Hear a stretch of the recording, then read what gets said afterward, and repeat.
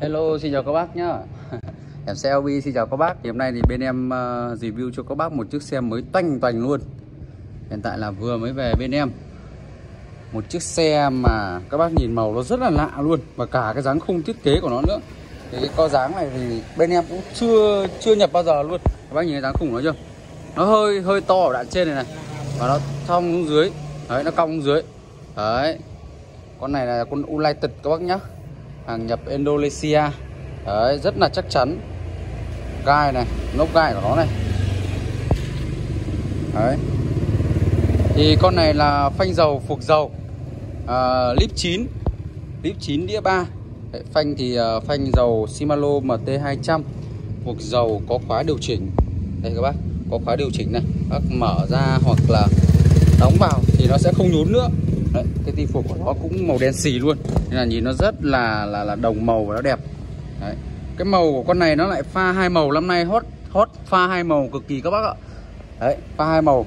Trên này là màu ờ, màu xanh lá. Không phải là xanh lá hẳn đâu mà nó gọi là cái màu xanh gì em không không rõ được. Đấy, xong rồi sau nó sẽ hòa màu đen xuống dưới. Đấy này nhìn nó rất là lạ. Lại một màu siêu lạ đó bên em. Đấy, các bác nhìn này. Bánh của nó là bánh 27.5 nhá gai to luôn bánh 27.5 gai to lốp Kenda này. Đấy, gai của nó em nó đây. Đấy các bác nhìn gai chưa? Thì uh, con này là xe M. Xe M các bác. Em sẽ quay kỹ hơn về cái đường nước sơn của em đấy. Sơn quá đẹp luôn. Con này là được nhập khẩu chính hãng nguyên trước các bác nhá. Xe chính hãng 100% không nhập lậu không bê lậu không bê đường tiểu ngạnh 100% có VAT đầy đủ. Đấy, củ đè sau của em đấy uh, củ đề sau thì nó like các bác ạ. Đây này Seiko này Seiko này. Đấy Seiko này. Đấy. lên là giá thành của nó rất tốt. Thì những cái củ đề mà hãng nó tự thiết kế nó làm luôn thì mình cũng uh, nó sẽ không đắt tiền bằng những cái hãng có thương hiệu như Shimano. Nhưng mà dùng thì vẫn thoải mái luôn. Bay nhảy thoải mái.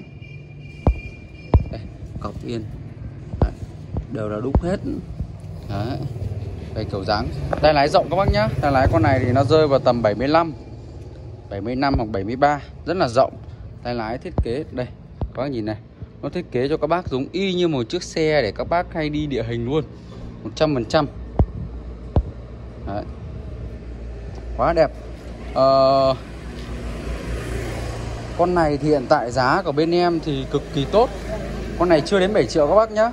Con này là 6 triệu 9 bên em giá 6 triệu 9 một chiếc xe như này. Đấy, quá ok có nhìn chưa? Màu của em nó này. Nhập khẩu chính hãng luôn. Em thấy là thích nhất là cái màu này tại màu nó cực lạ. Em thì hay sưu tầm những loại xe độc lạ để về để để bán lắm. Loại xe nào độc lạ đẹp cấu hình tốt giá phải chăng? Đấy là em sẽ tìm cách nhập về để bán cho nhân dân ta? Đó các nhìn nhá tất cả là ti cuộc uh, ờ, là ti khóa nhanh hết. Đấy. thì các bác có nhu cầu thì liên hệ với hẻm xe nhé thì nó còn vài một số màu nữa thì em sẽ uh, review ờ, uh, chiếc sau. Đây nhìn cái chiếc màu này này. Màu này màu siêu lạ luôn. Đấy thì trận sau em sẽ review kỹ hơn để cho các bác về một chiếc màu siêu lạ nữa. Đấy đầy đủ tem mát các bác nhìn chưa? Tem mát xuất khẩu nhập khẩu đầy đủ luôn, chính hãng 100% rồi, ok các bác nhá, em xin kết thúc video tại đây.